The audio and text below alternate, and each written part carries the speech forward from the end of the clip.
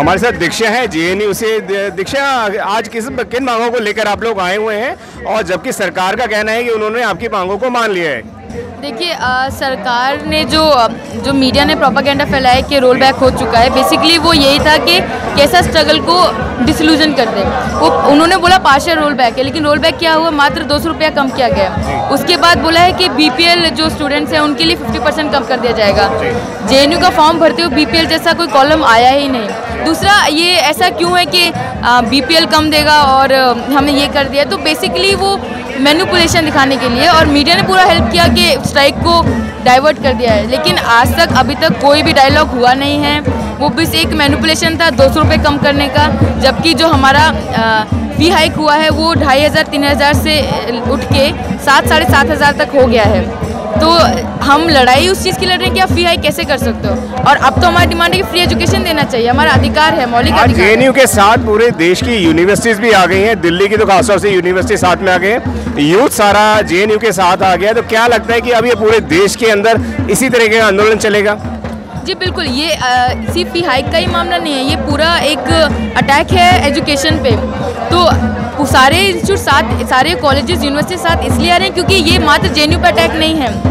JNU Delhi में है तो हाइपर है, समझ आ रहा है, लोग बाहर निकल पा रहे हैं और इतना जल्दी मीडिया में आ गया है। लेकिन बहुत सारा छोटा यूनिवर्सिटीज़ है दूर दूर के शहरों में जो बाहर नहीं आ पाता है। फ़ी हाइक सब जगह हो रहा है एजुकेशन को बढ़ाया जा रहा है, उसको इतना बढ़ाया गया है कि मार्जिनलाइज कम्युनिटी के लोग हैं। हम, बहुजन समाज के लोग आ ही नहीं पा रहे यूनिवर्सिटीज़ में। हम लोग पढ़ेंगे नहीं तो कैसे आगे बढ़ेंगे? अच्छा आपको नहीं लगता है कि बहुजनों के राइट्स को, बहुजनों की एजुकेशन को छीनने का एक बहुत बड़ी साजिश रची जा रही है? देखिए, इस सरकार से उम्मीद तो नहीं है। जो सरकार राम राज्य की बात करती है, जो सरकार राम का स्टैचू बनाने के लिए बात करती है, वो सरकार चाहती है कि मार्जिनलाइज कम्युनिटीज़ हैं। जो मनु स्मृति का वो आइडल जिसको समझती है, साधु प्रज्ञा जैसे लोग जो पार्लियामेंट में आते हैं, योगी जैसे पार्लियामेंट में जाते हैं, उन लोगों का जो आइड- आइडल है वो राम राज्य है। जिस राम राज्य में वर्ण सिस्टम है, जातिवाद है ऑपरेशन है मनुवाद है, मनु स्मृति है, उस राम राज्य में कोई पढ़ता नहीं है उस राम राज्य में कोई क्वेश्चन नहीं करता है कोई अधिकारों की लड़ाई नहीं लड़ता है। वो वैसा ही चाहते हैं कि भारत वैसे ही संवि हाँ, बाबा साहब ने जो संविधान बाबा साहब जानते थे कि हमारे लोग कैसे आगे बढ़ेंगे। शिक्षा आगामी योजना क्या रहेगी आपकी?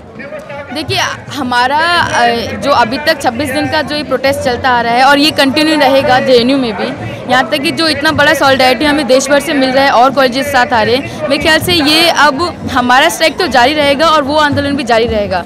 अभी हमारी मांग है कि फ्री एजुकेशन होना चाहिए और या तो अफोर्डेबल एजुकेशन होना चाहिए। जैसा जे में मॉडल है इतना ही ऐसा मॉडल हर जगह होना चाहिए। हर कॉलेज में वही फ़ीस स्ट्रक्चर होना चाहिए अगर है भी फ़ीस स्ट्रक्चर तो। बड़ी स्ट्रीम मीडिया के लिए क्या बोलना चाहेंगे जो आपको गलत तरीके से प्रेजेंट्स कर रहा है? देखिए मैं को मैं बोलना चाहूँगी कि उन लोगों ने नहीं पता कि जियो यूनिवर्सिटी से डिग्री लिया क्या। जर्नलिज्म का कि उनका जो पोर्ट्रेट रहता है बहुत राइट विंग रहता है। झूठ बोलते हैं प्रोटेस्ट को मार्चेस को डाइवर्ट करते हैं। डिसल्यूजन करते हैं और गलत बताते हैं। जी न्यूज़ और रिपब्लिक जैसे टीवी हैं जो राइट विंग पेड हैं वो लोग। वो लोग सरकार से पैसा लेते हैं जर्नलिज्म का। जब हम अपनी डेमोक्रेसी में एक पिलर है अ, मीडिया उसके बाद मीडिया पूरा पेड मीडिया हो गया तो कैसे भरोसा कर सकते हैं मेन स्ट्रीम मीडिया पे?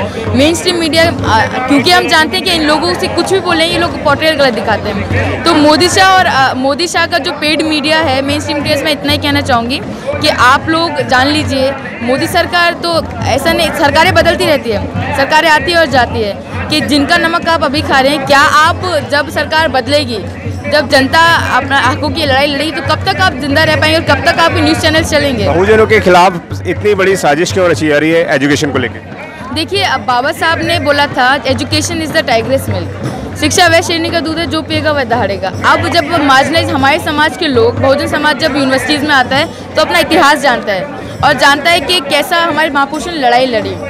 जब वो लड़ाई जानता है तो अपने अधिकारों की लड़ाई लड़ता है। बाबा साहब बोलते हैं एजुकेट एजुटेट ऑर्गेनाइज एजुकेट होने के बाद ही हमारे लोग एजुटेट करते हैं अपने अधिकारों के लिए। और और ये एजुटेशन हम देख रहे हैं कि आज बहुत बड़े तबके में बहुजन समाज इकट्ठा हो रहा है ऑर्गेनाइज हो रहा है। ये लोग डरते हैं उसी एजुटेशन से और ऑर्गेनाइजेशन से कि हमारे जो समाज है वो मज़बूत ना बन जाए। यही डर है उनको, इसलिए वो निरंतर वार कर रहे हैं बहुजन समाज। थैंक यू दीक्षा आपने बात करी। अगर आपने अभी तक हमारा चैनल सब्सक्राइब नहीं किया है तो सब्सक्राइब करें और घंटी का बटन बिल्कुल भी दबाना ना भूलें, ताकि सभी लेटेस्ट खबरें पहुँच सकें आप पे सबसे पहले।